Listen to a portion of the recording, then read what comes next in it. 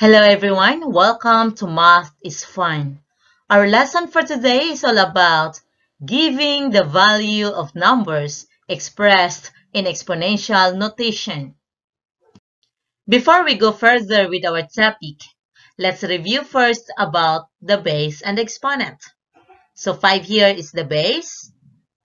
Base of a power is the factor that is repeatedly multiplied by itself. 4 is the exponents or power.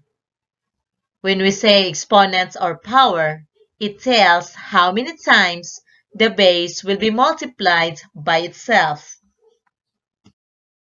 Let's study the following examples on how to get the value of the exponential form.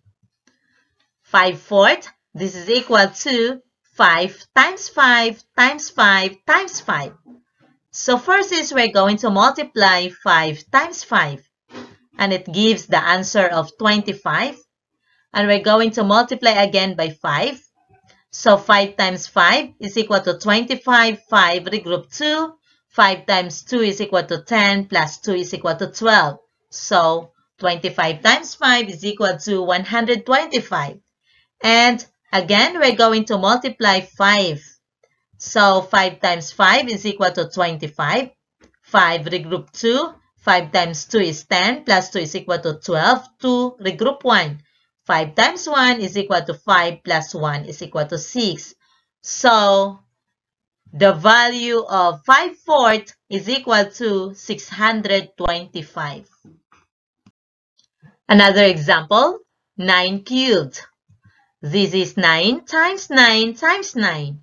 So let's multiply. 9 times 9 is equal to 81.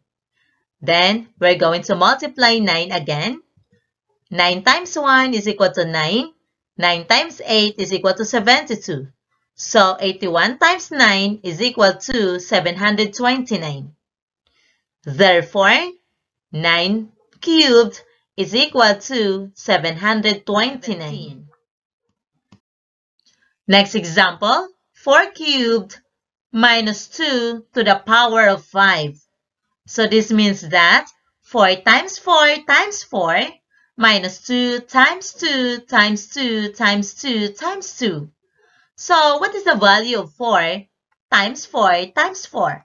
So 4 times 4 is equal to 16. 16 times 4 is equal to 64.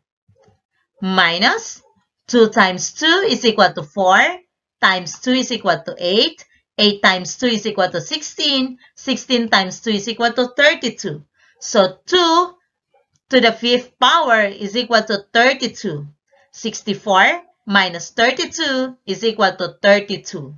Therefore, 4 to the cube minus 2 to the fifth is equal to 32. I hope that you understand our lesson for today and thank you for watching.